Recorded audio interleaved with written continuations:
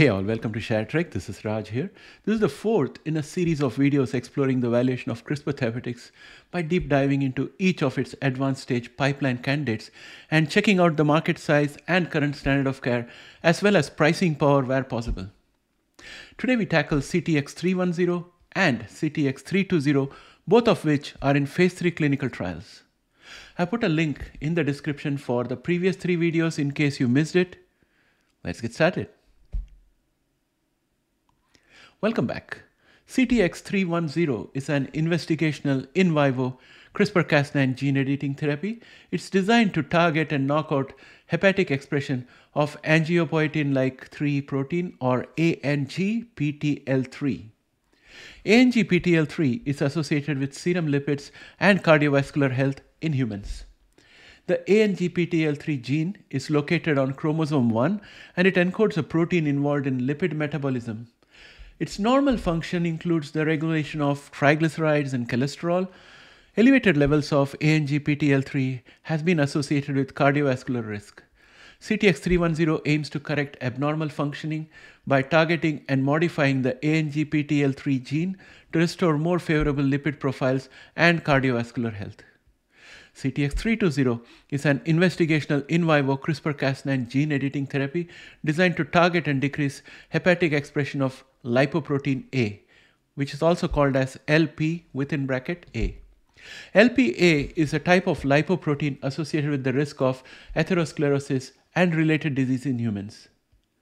LPA is unique type of uh, lipoprotein associated with an increased risk of atherosclerosis and cardiovascular diseases. CTX320 through CRISPR-Cas9 gene editing targets and aims to decrease hepatic expression of LPA as a potential strategy to reduce the risk of atherosclerosis in humans. We could summarize both target conditions under an umbrella term called dyslipidemia. The current size of uh, the market for dyslipidemia uh, is as follows. First, let us look at uh, pharmaceuticals, which includes prescription drugs like uh, statins, PCSK9 inhibitors, and bile acid sequestrants used to manage cholesterol and triglycerides.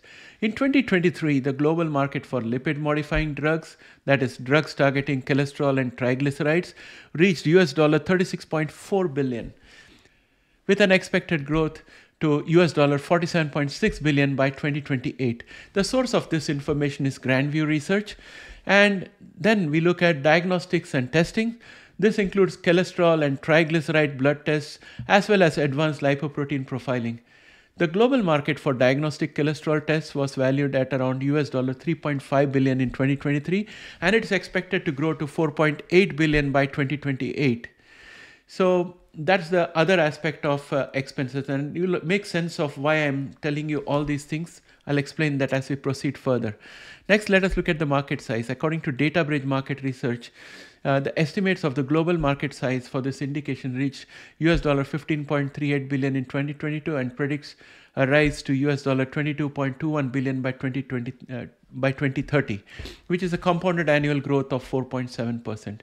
We are not considering supplementary uh, market items like specialized foods and lifestyle products that a patient would consume uh, if they are having problems with uh, cholesterol and lipids.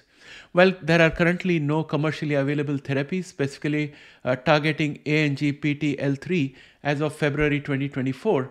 The standard of care is evolving. Several potential approaches are in various stages of development. And um, before I proceed further explaining the current uh, uh, therapies that are in development and in competition, let me explain to you why I gave you the cost of uh, alternative um, uh, therapies and um, uh, the diagnostics and other things. I'm looking at it from the point of view of um, a patient who is uh, looking at uh, the prospect of two gene therapies, one of which could definitely address his condition uh, once and done. So, how does a patient evaluate the value for such a therapy? So it's going to be what are they spending currently. So currently they must be spending spending on statin or other drugs, and then uh, apart from that, they might be spending a lot of diagnostics on a regular basis, and over and above that, they would also be spending on specific food items and lifestyle uh, expenses like gym and uh, personal trainer and so on and so forth.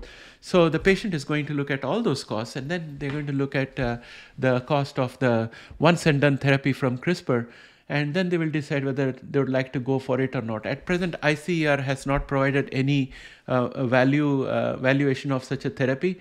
Uh, so this is what I'm looking at uh, uh, to get a rough idea of uh, what could be the pricing power out there. Uh, so that said, uh, let us now talk about the medicines uh, that are in the pipeline and which are going to be competitors for CTX um, 310 and CTX 320. So uh, those um, uh, the partial list is here. I would say that uh, in terms of genetic medicine competitors, Verve and Eli Lilly have partnered together for Verve 201, which is again in clinical trials, which will be a effective competitor for CTX uh, uh, 320. And um, uh, Arrowhead Pharmaceuticals Inc. have ARO ANG3, which is in phase 2B clinical trials. And one of the approved new technology is called Waylivra by Akcea. Uh, therapeutics and it's an antisense product that inhibits targeted ANGPTL3 and has been approved for use on patients with diabetes to treat fatty liver. So, this is the lay of the land overall. And my conclusions after looking at all this information is that the market size of statins is significant and breaking into this market with two once and done gene therapies, assuming both CTX uh, 320 and 3, 310 get approved, would be amazing. While CTX 310 and uh, CTX 320 progress through the clinical trials, they are right now in phase 2 clinical trials. Alternative technology are also progressing in parallel. These involve uh, mRNA based temporary solutions where you get mRNA injection potentially, and uh, that will keep on neutralizing uh, ANGPTL3 and um, uh, thereby giving relief. And also, there are uh, other approaches which are in the uh, clinical trials. But uh, if uh, CRISPR gets two fully owned um, uh, therapies in this area, it could significantly improve CRISPR valuation.